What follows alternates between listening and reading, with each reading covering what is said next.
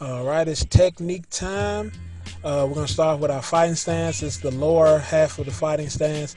You want to start with your feet shoulder width apart and slide your right foot straight back if you are orthodox fighter, which means you fight with your you right with your right hand.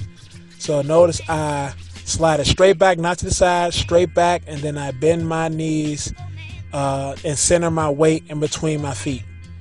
If you are a southpaw, which means right with your left hand, you will slide your left uh, foot straight back and then bend your knee.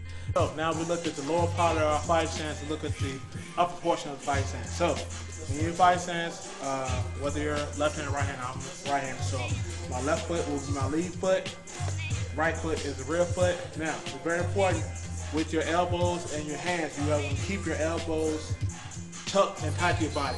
Not only protect against uh, body shots you don't see, but also uh, give extra force to when you throw your punches. You got to be close to your body. All right, so you want to pretend that you're flexing your back full, uh, outward and now bring everything forward. So here. All right, now you hold.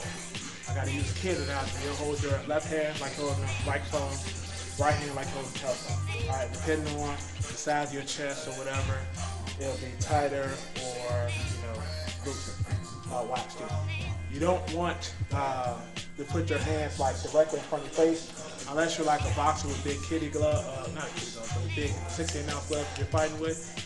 Because if you have MMA gloves on, these are not square in the face. So you want to be here. You also, it's very important, you want to tuck your chin behind your lead shoulder.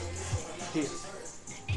See that? So uh, not only uh, it keeps you from one getting knocked out, but also gives you like a direct line of sight. You're in tune with the person in front of you. All right. So shoulders up, chin down, uh, elbows tight to the body, and notice that uh, when I start to form my fighting stance, my midsection shrinks and turns.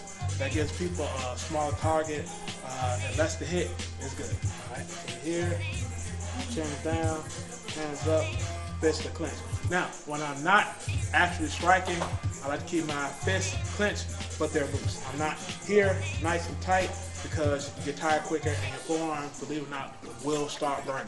Right? So here, chin down, eyes forward, punch uh, fists up. Right? And that's fighting stance. Not much of a change because I'm the biggest and the blackest. Oh, wait, I lost it. There we go. There's my silverbackedness.